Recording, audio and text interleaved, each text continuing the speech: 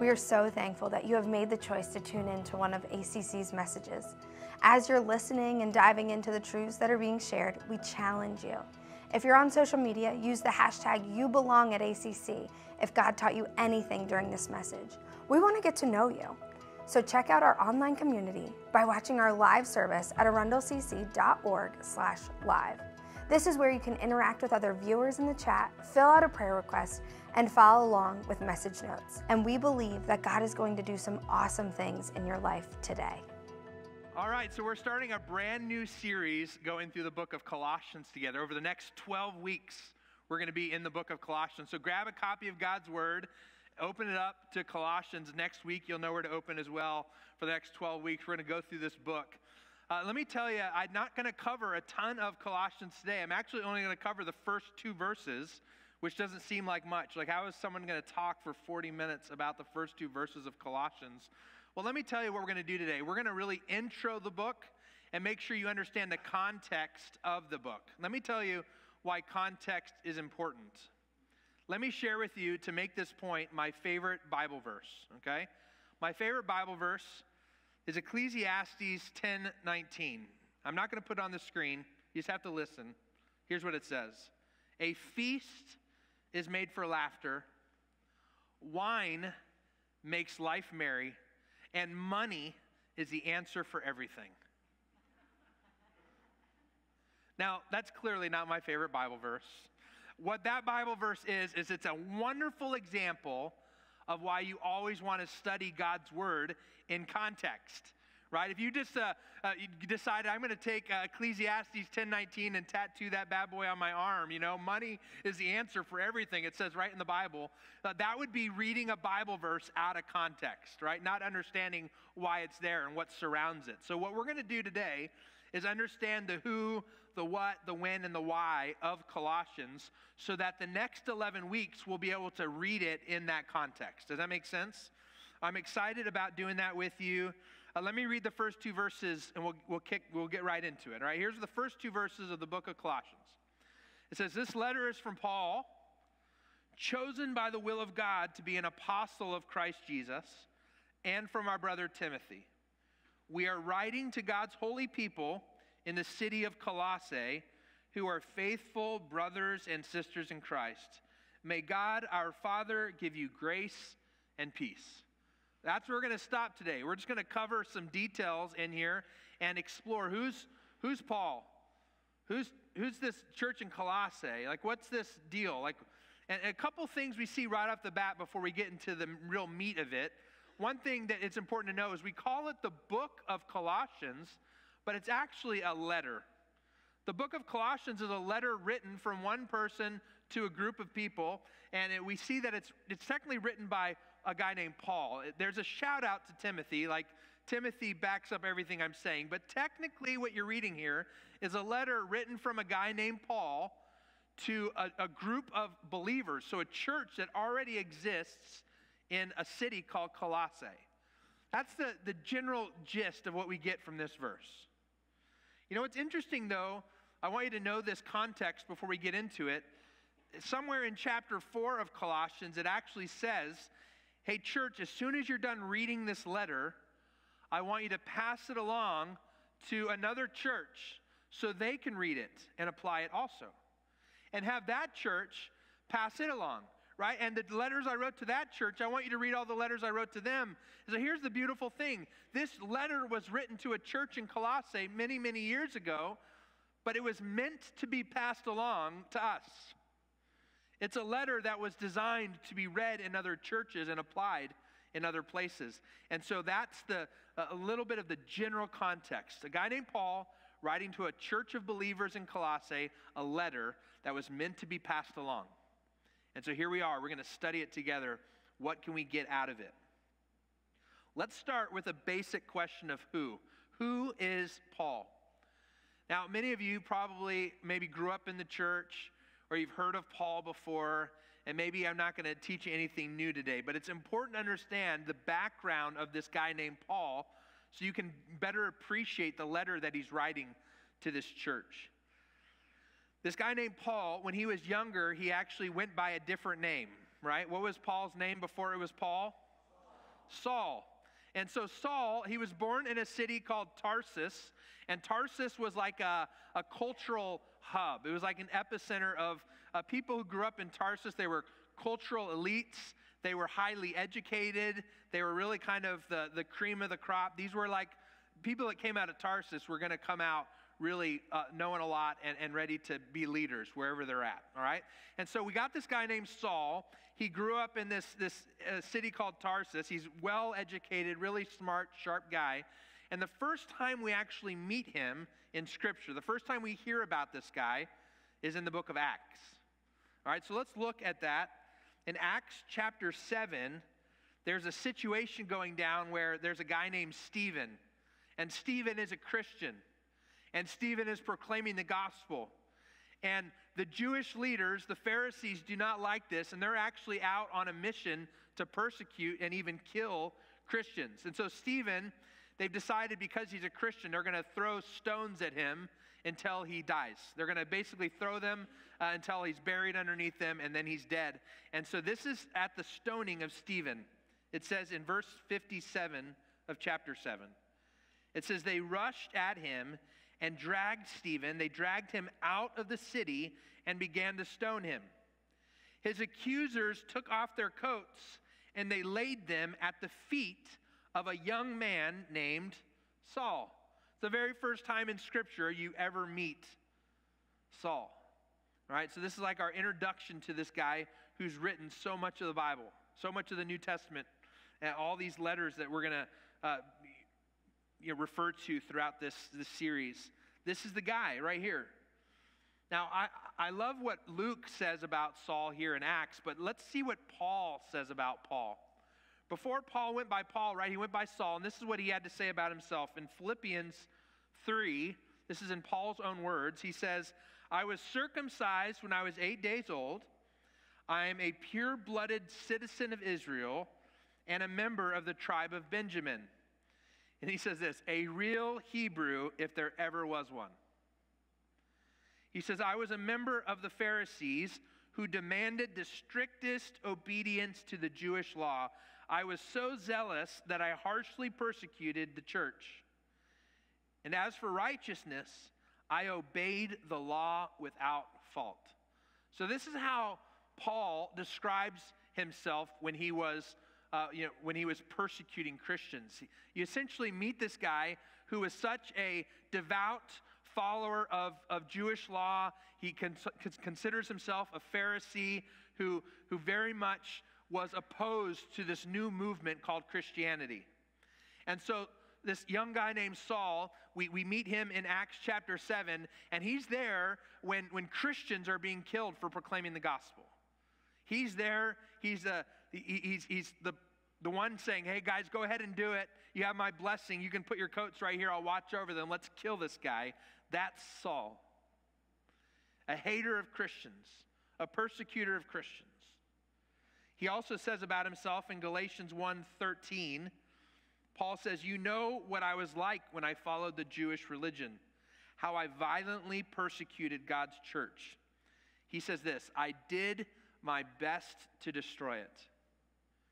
That was his mission in life, was to destroy the Christian church. This guy, who we're going to read his letter, he was a, a destroyer, someone who, dis, who tried to destroy the Christian church. Then it says back in Luke's account of, of this guy named Saul in Acts chapter 9, verse 1, it says, Meanwhile, Saul was uttering threats with every breath and was eager to kill the Lord's followers. Here's my point. If you were an early Christian, if you were a, one of the converts into Christianity in the early church in the book of Acts, you didn't want to come across Saul. Saul uttered threats with every word he could muster. He was constantly just trying to kill and persecute Christians. You didn't want to be around this guy. You wanted to try to avoid people like Saul because Saul hated Christianity and he hated Christians.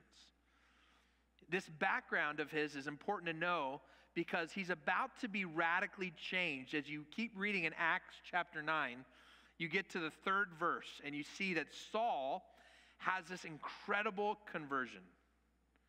And here's a little bit about that story. In verse 3, it says, As he was approaching Damascus on this mission, a light from heaven suddenly shone down around him, and he fell to the ground, and he heard a voice saying to him, Saul, Saul, why are you persecuting me? He's on this road. A little side note here it says that he was on this road to Damascus and he was on a mission. Can we just, a little side note here for just a moment? Every one of us in this room, whether or not you're pursuing godliness or you're pursuing worldliness, you are on a mission. Every single one of us has something that we're, we're devoting our time and our energy and our talents to. We are all pursuing a mission. And Saul was on a mission. He was on a mission to kill Christians. And while he's on this mission, it says that, that he, he encountered Jesus Christ. He got to see Jesus, and, and Jesus came to him and said simply, Saul, Saul, why are you persecuting me? And that story goes on, and you get to see this conversion where Saul, his life is radically changed, and he becomes a follower of Jesus instead a persecutor of Jesus' followers. He decides he wants to be a person pursuing Christ and helping others pursue Christ. And his life is radically changed. There's a lot more to that story, but I want you to understand a couple things about how radically changed his life is. You know that 13 of the 27 New Testament books were written by Paul. Incredible. Pretty much half of your New Testament, as far as number of, of books, uh, Paul had his God had you know had him write these letters.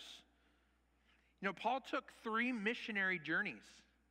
After becoming a follower of Christ, he basically became a missionary who went out. And by the way, you want to know on these three missionary journeys how far he traveled to share the good news of the gospel? Uh, you calculate all the different places he went on these three missionary journeys, he traveled about 10,000 miles. To give you an idea how far that is, that's like traveling from New York City to Los Angeles and back, and then doing it again. New York City to Los Angeles and back. This is how far Paul, before you had all the, the planes and the trains and the automobiles we have today, was traveling to share the good news of the gospel. His life was radically changed. He planted churches everywhere he landed. He, he planted churches, and so he was an incredible church planter. He went from a persecutor of Christians to being persecuted as a Christian. Radical transformation. Now, what's interesting is a lot of us believe, because someone told us probably, that Jesus changed Saul's name. Because we don't call him Saul anymore, right? We all call him the Apostle Paul. And, maybe somebody told you at some point that, yeah, you know, he was on the road to Damascus, and then Jesus came down and said, Saul, Saul, why are you persecuting me? And you need to follow me instead. And from now on, you're now going to be called Paul. But you know what? That actually never happens in Scripture. Jesus never changed Saul's name. And I want you to know this Saul and Paul are actually the same name. Saul is the, the Hebrew form of the name, and Paul is the Greek form of the name. So if Jesus didn't change Paul's name, who did? Paul did. I can imagine there were conversations where his life has been radically transformed. He now has a, a new identity. And, and, likely people came up to him and they were like, hey, Saul, can we talk for a second? And he probably was like, hey, you know, if you don't mind, I really like to go by Paul now. We see him change his name. In fact, the place that his name is changed, where we see it kind of flip in Scripture, is in Acts chapter 13 and by the way, Acts is basically the, the Gospel of Luke continued. It's written by Luke. Acts was written by Luke. And you get to kind of see where Luke ends, Acts picks up. So it's Luke part two. And it says in Acts 13, verse 9, it says, Luke says, um, this is what Luke says about him Saul, who is also called Paul. There it is. That's your transition. It doesn't say, God said, from henceforth you shall now be known as Paul. No. We just know that there's a guy named Saul, and all of a sudden, after his life is radically changed, he starts going by Paul. Saul, who is also called Paul. And that leads us to our first takeaway. I want you to write these down in your notes, okay? Takeaway number one is that we need to choose to walk in our new identity. I want you to know that your life has been changed, right? We actually see in 2 Corinthians 5:17 if you are a brother or sister in Christ, here's what it says about you. It says this means that anyone who belongs to Christ has become a new person. Right? The old life is gone, a new life has begun. That's what scripture says about you. Your old life is gone, a new life has begun the moment you gave your life to Christ. But you have to understand you have a new life as a Christian, but Scripture is super clear that you have the ability to choose to embrace that new life, to, to embrace that new identity, or to choose to not. And I would ask many of you in this room, what choices are you making on a regular basis? Uh, and how does it reflect whether or not you're choosing to walk in your new identity or whether or not you're still walking in your old one? It's a choice you get to make. Paul's the one who said, Hey, listen, I used to identify really strongly with the Jewish and Hebrew people, so I decided to go by Saul, and now I really want to distance myself from that, that way of thinking. So if you would do me a favor, I'm going to choose to walk in my new identity. Let's call me Paul now.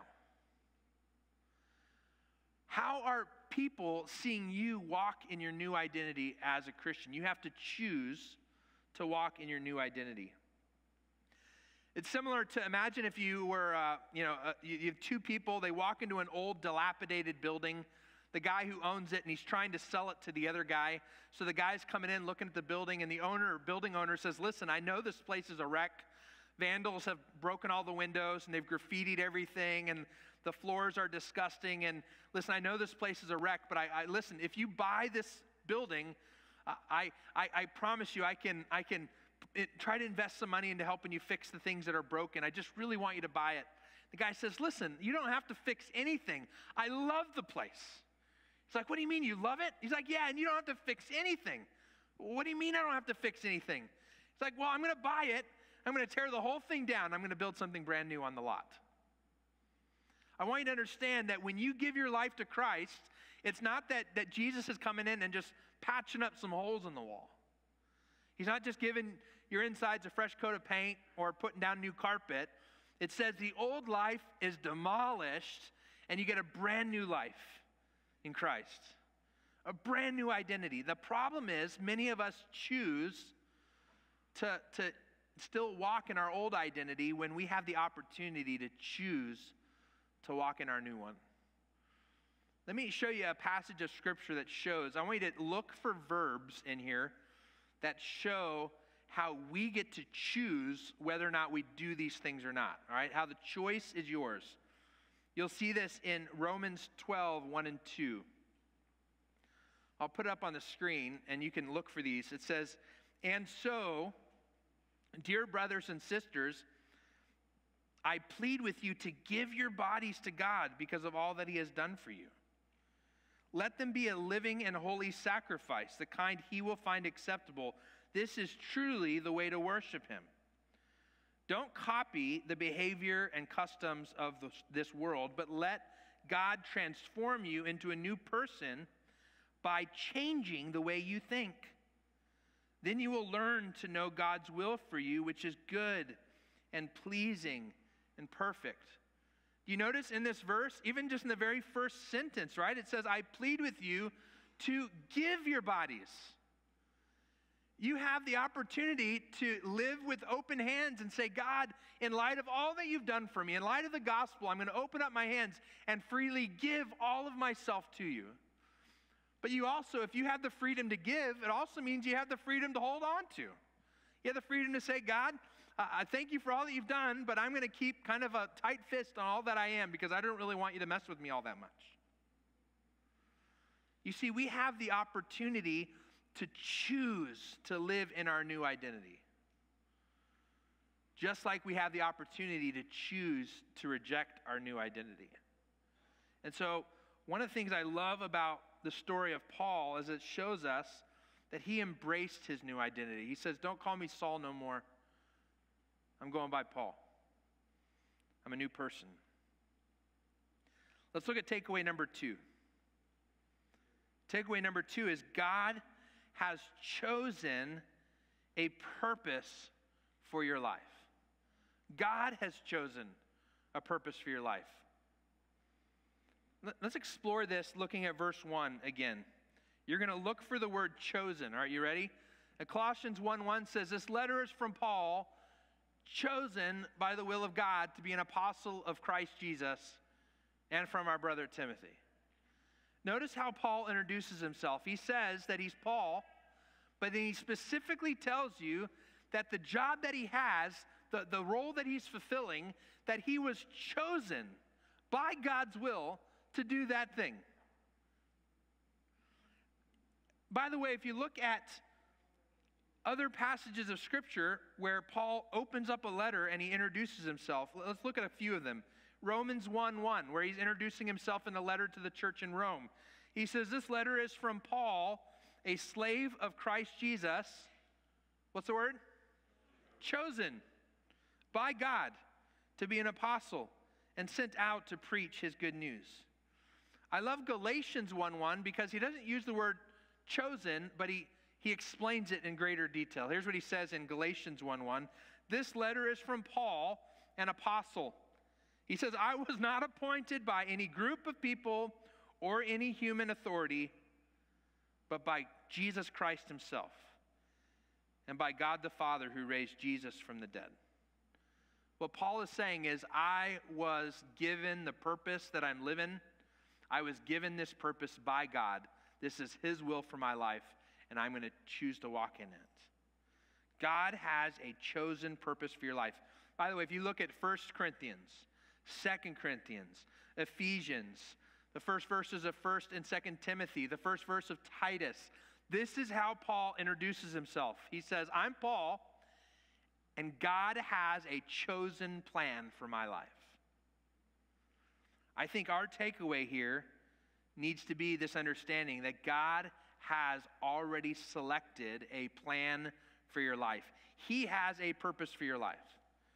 Let's think about it this way. I'm going to put this on the screen. It says, You are not responsible for choosing the purpose for your life, you are responsible for fulfilling your purpose.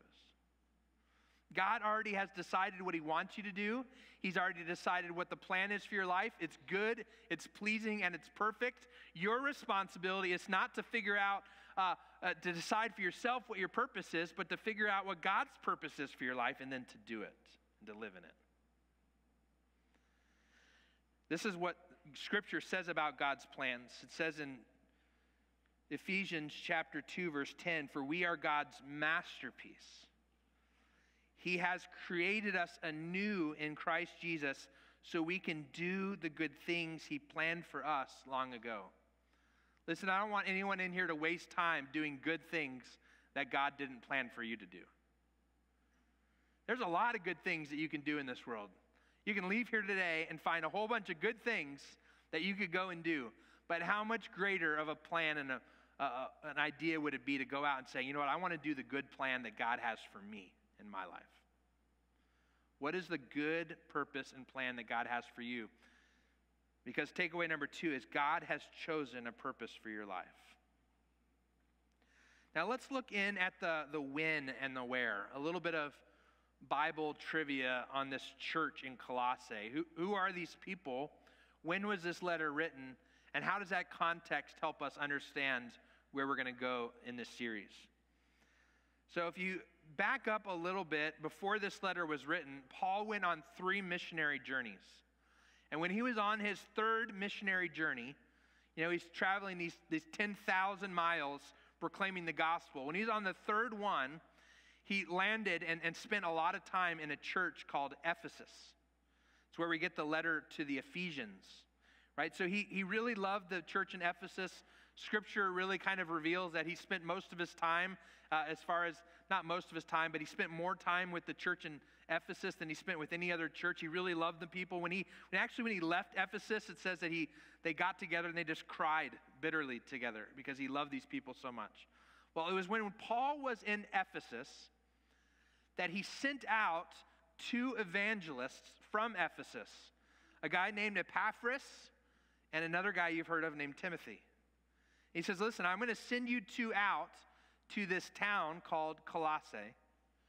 And there I want you to share the gospel and plant a church. And so while Paul is in Ephesus, by the way, we actually believe, according to Scripture, that Paul's never actually been to Colossae. He sent out two evangelists. It's the power of delegation, of training up, making disciples, so that the spread of the gospel can go so much further. Because listen, God's not calling you to share the gospel with everyone. He's calling you to share the gospel with the people He's planned for you to share the gospel with and to train up disciples who can take the gospel to others. And so Paul has trained up Epaphras and Timothy. He sent them to this church in Colossae, and they started a church. He sent them to Colossae before there was a church, and they planted a church there. Now, some time later, around 61 to 63 AD, uh, Paul has now left Ephesus. He's now in prison in Rome, and while he's there, he, he writes this letter to the church that now exists. So he's in prison when he writes this. That's important to know. We call it a prison epistle, right? He's not free because he's been sharing the gospel and he's being persecuted. They've arrested him and put him in jail, but he still has the ability to get some letters out. And he writes this letter to the church in Colossae. By the way, if you're wondering, like, where on a map do I find Colossae? The city doesn't exist anymore. There's another town that, that's there in its place, but it's in modern day Turkey that you would find Colossae. All right, so if you find on a modern day map Turkey, you kind of have an idea of the region that, that Colossians would have existed in. So let, let's talk about the Colossian people for just a moment. You know, uh, kind of a fun fact the, the chief article of commerce that came out of Colossae, what, what did the Colossians kind of create and sell throughout the world? And they, they were known for a, a, a renowned piece called the Colossinus. And the Colossinus was a very particular type of wool, and it was, it was usually uh, purple in hue. And if you know anything about a purple color clothing back then, that was like very, very hard to find. It was only the wealthy, usually royalty, would be dressed in purple just to kind of show off, like, hey, I got a lot of money. Look at me, I'm dressed in purple. And so, uh, Colonisis, this particular wool, uh, was what would have been sold out of the church in Colossae, not the church, but the city of Colossae. And this, this is kind of this connection back to wealth and, and royalty. But what, what does Paul say about the church in Colossae, the people of the church in Colossae? Let's look at verse 2. This is what he says He says, We are writing to God's holy people in the city of Colossae, who are faithful brothers and sisters in Christ. Notice he doesn't say, Hey, I'm writing to you all who are renowned for this really special wool. No, he says, Listen, I'm writing to you who he, he then goes on to call saints. Now, your version of scripture might say the holy people, right? We are writing to God's holy people. If you uh, got a different version than I have, it might say uh, to the saints in, in the city of Colossae. Here, here's the ultimate, we'll talk about that for just a moment, but here's the third takeaway I want you to write down is this that God calls you up into holy living. God is calling each of us up into holy living. He's, he's asking us to take the next step into holy living. When you think of being called up, what kind of comes to mind in your mind? I'll tell you what immediately comes to my mind is Major League Baseball, right? When someone's being called up, that's a pretty exciting moment, right? If you go to, if you follow the Orioles on Facebook, right, that's when they're going to put, put a little video of a, a young kind of uh, guy who's in the, the minor leagues, and you get to watch him make that phone call to dad and say, Dad, guess what? I need you in Baltimore tonight. I got some tickets for you. I just got called up. I'm a Major League Baseball player today. Getting called up. That's an exciting thing. And what Paul simply does in the very first two verses of Colossians is he shows the people there that he's probably never even met in person. You guys are being called up. You're being called to a particular style of living. There's, there's a title that he gives them, and this, this word holy or saints. It comes from the Greek word um, hagios, and hagios is often translated into the word saints, but it technically means consecrated by God. What's beautiful about this is Paul calls all the men and women who are believers in the church, he calls every single one of them saints. Is that pretty powerful? I want you to think about what comes to your mind when I say the word saints. If someone were to call you a saint, I went to uh, artificial intelligence photo maker, an AI photo maker this week, and I typed in, uh, show me a group of saints. Like, make a picture of a group of saints. And this is the first picture that it created for me. And so, according to artificial intelligence, in order to be a saint, I don't know if you knew this, but you have to be a white Jesus, apparently, right? I'm like, well, that's kind of interesting. Uh, I didn't realize you had to have a halo around your head and you had to constantly be praying in order to be a saint. Did you know that? You're not really a saint unless you're praying constantly. And you gotta, you gotta have a, a big cross necklace, apparently. I said, okay, so I went on to AI. I said, I don't like this picture. Give me a different picture. And this is what it gave me. Um, again, a bunch of old white guys carrying crosses around, okay? And this is uh, what it looks like and so I said, no, give me maybe a more modern day version of saints. And then it gave me this next picture. Uh, this is, so these are modern day saints. I got, I got some diversity, which was exciting, but still, you got to wear that big gold cross around your neck, people, or you're not nailing it, right? And I said, I said, let me give it one more shot. I said, give me a picture of a group of saints. And then this is what I got.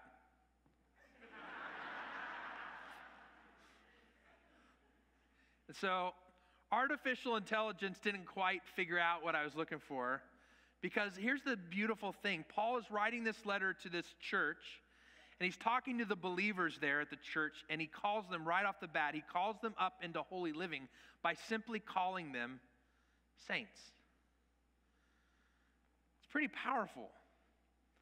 You know, I did, I was curious. Um, I looked within the Catholic Church. If you're, if you're Catholic or grew up Catholic or whatever, I, I, maybe I'll offend you for a minute. I'm sorry. But I, I, I didn't know. I'm like, what does it take to be a saint within the Catholic tradition? And so I did some research, and it's actually like a five step process. I learned a lot. The first thing, if you think someone should be a saint in the Catholic tradition, uh, they first, the first step is they have to have what's called a fame for holiness. In other words, they need to be well known in their country, in their region, maybe throughout the world as being a person that's that's saintly. Like this person's pretty awesome and everybody knows it. So that's the first step. If you're not well known for being pretty cool and saintly, then you're not even going to be able to start this process. So once you get nominated as a person like everybody knows Bob, Bob's awesome. Bob should be a saint. And then you you you petition a Rome and what happens is you, you tell Rome, hey, we think this guy should be a saint, and they start a process of research uh, where they, they go into Bob's background and they look at Bob's re, uh, references and they see all the things that Bob's done, and they determine whether or not there's actually a group called the Congregation for the Cause of Saints. That's the name of the team that does all this research. And with all this research, they determine whether or not you're going to move on to the next step of the process. If you get uh, a no, in other words, if the congregation for the cause of saints doesn't think that you're saintly enough, they're going to say no, and you can't appeal their decision. It's done. You're never going to be a saint, okay? But if they do find you as uh, saintly, then they're going to give you the title called venerable. And now your, your title just changed from Bob to venerable Bob, okay?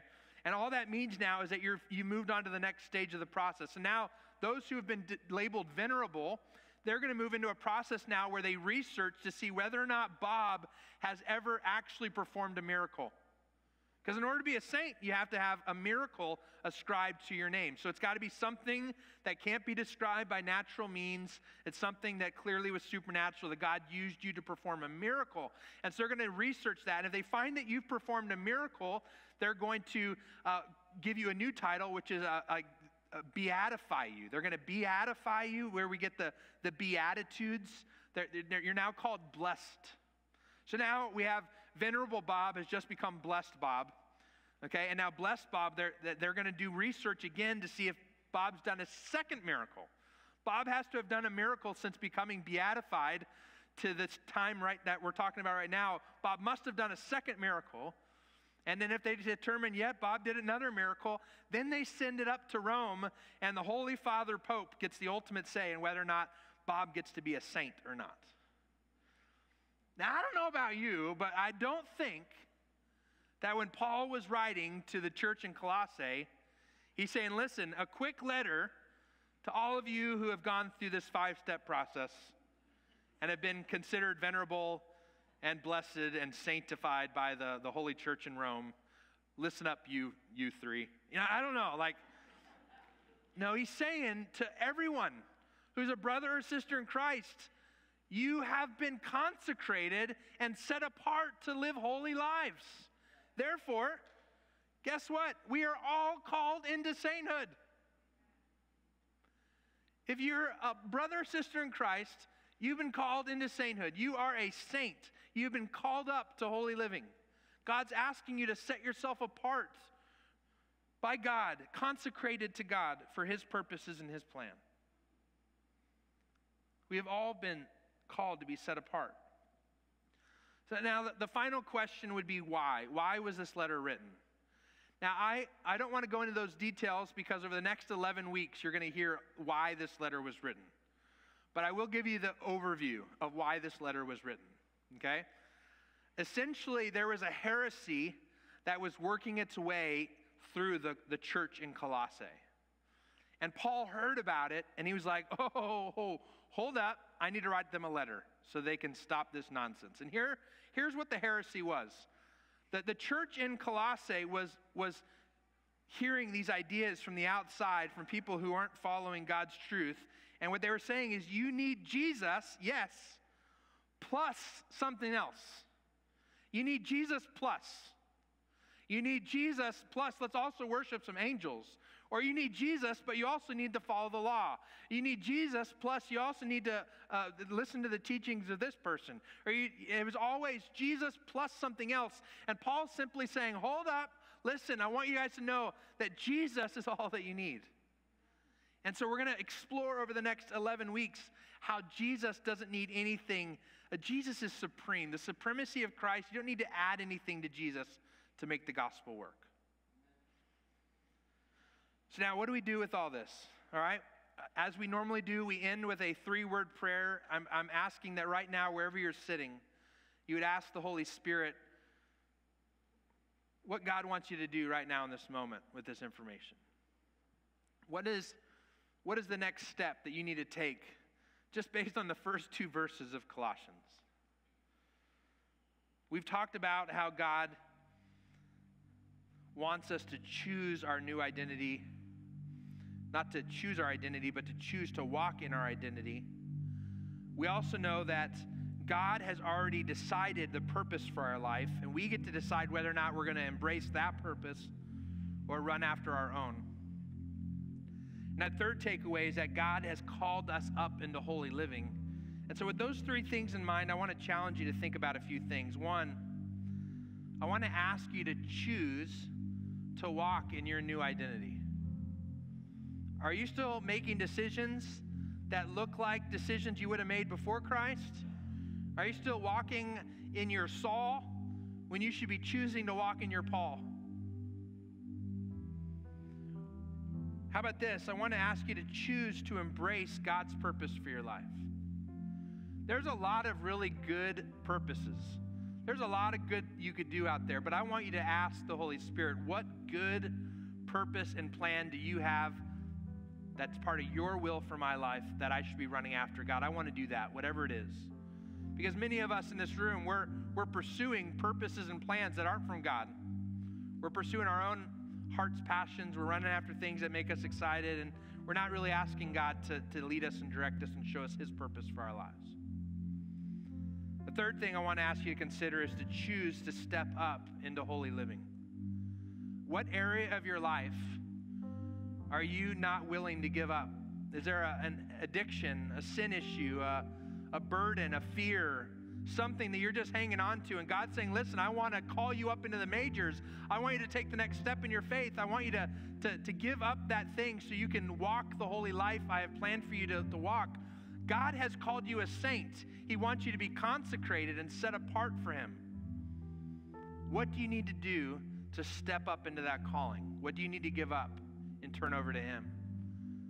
Let's live the holy lives that God's called us to live. Now, here's how I'm going to close today the very last part of verse 2, Paul gives me the words for the beginning of my closing prayer. And I want to pray this over you. Here's what he says He says, May God, our Father, give you grace and peace.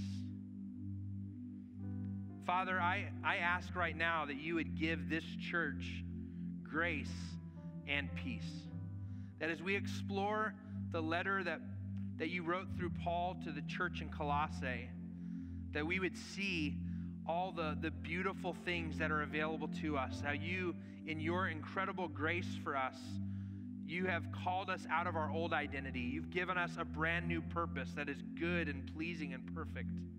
You've given us everything we need to walk into it and to step up to the holy life that you've called us into. God, would you give us the grace that we need to embrace the next steps that we need to take? And would you then, God, give us the peace that comes with walking in alignment with your will? We know that when we do the things that you've called us to do, that peace is the result. That joy, that, that, that the burdens that we're carrying, we get to lay all that down because we know we're walking with you. Would you give us that grace? Would you give us that peace? Would you allow us as a church to really embrace all that you want to teach us through this series? We love you and we thank you. And we pray this in Jesus' name. Amen. Wow, we are so thankful for the truth that was shared in the message today. Please know that we as a church are praying that what you have learned today and the truths that God has put deep into your heart will manifest and grow into something amazing. You can experience that with other believers at ACC on Sunday mornings at 710 Aquahart Road. And remember, you belong at ACC.